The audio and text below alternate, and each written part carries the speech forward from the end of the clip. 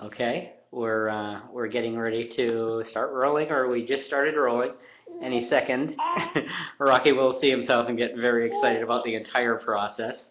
We're, uh, we're, we're shooting out, one, one of the things we, um, we do for all of our clients, if they're planning a a renovation coupled with a, a sale or rental, is we'll, we'll give some advice on where the latest trends are in, um, renovated properties thr- throughout the, the, the country, of course, but uh, Southwest Florida, a little unique as far as um, interior of the home, uh, HVAC issues inside the, uh, the the property. You just want to make sure that if you're spending some hard-earned dollars in your uh, in your investment property in your home, that you're you're making you're making some good decisions and not just fooling around with the camera because it's a work day.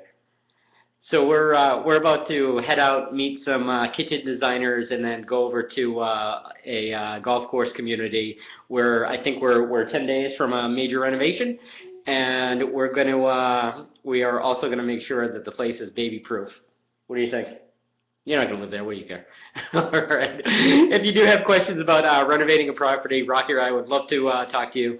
You can reach me always at 941 364 4444. Again, it's John Gaudiano and Rocky at 941 364 4444. Okay, thank you.